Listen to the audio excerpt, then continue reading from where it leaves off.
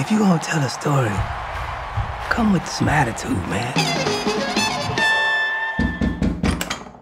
Ah, Miles Davis. My name's Dave Braden, Rolling Stone magazine. I'm here to do your comeback story. Okay, move, move back a little bit. Yeah.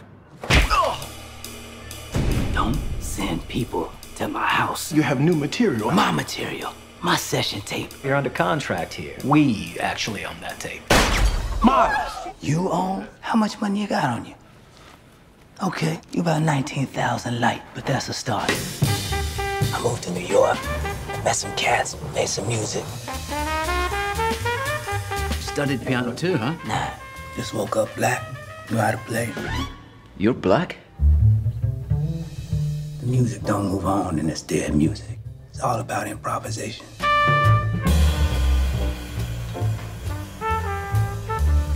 Frances, I'm gonna send a plane to pick you up. I need you. I love you. Somebody stole my tape. What?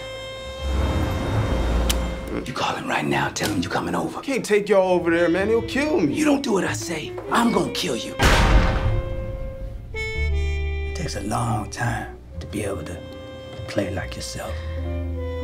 I gave up everything for you, Miles. I deserve better than this. Hold it, buddy, hold it. Do you have a ticket? You're looking at it. You're trying to piss me off, man? You don't know what the word lose means, do you, Miles? I'm getting my music back.